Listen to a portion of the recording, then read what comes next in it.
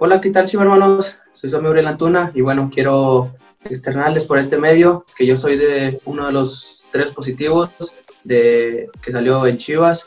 Y bueno, eh, gracias a Dios soy asintomático, eh, estoy muy bien, me encuentro muy bien. Y pues desafortunadamente también mi, familia pues está contagiada también, mi esposa y mi hijo. Eh, y también asintomáticos, gracias a Dios, también están resguardados, estamos tomando todas las precauciones que nos puso el club, este, tomando todos los cuidados eh, eh, que nos puso el club. Eh, y bueno, exhortarlos a que, a que tomen sus medidas de seguridad, que esto no es un juego. A mí, a, mí, me pasó, pero les, exhorto a que se cuiden, a que se, a que se cuiden y que no, que no, no, pase, no dejen pasar esto por en vano, que, que, es una enfermedad que a cualquiera nos puede pegar, nunca sabes dónde.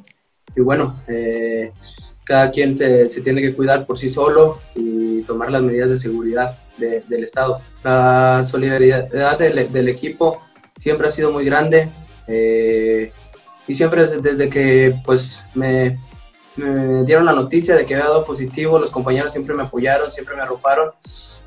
Y bueno, como comentas, este, cualquiera de los jugadores que esté dentro del campo, pienso que lo va a hacer bien. Eh, todos están preparados, así como, como vienen jugadores buenos de, de, la cantera que lo están haciendo muy bien y que también luchan por una oportunidad para estar en, en primera división. Y bueno, creo que cualquiera que, esté ahí en mi lugar o esté en la plantilla de, de los 18, este, lo va a hacer muy bien, cualquiera que, que le toque entrar va a estar muy bien y bueno, eh, desearle eh, muchas bendiciones y buena vibra al, al, equipo para el inicio del torneo más que nada, que desgraciadamente a mí no me va a tocar estar, pero desde acá, desde casa, vamos a estar apoyando, eh, estar al pendiente del partido.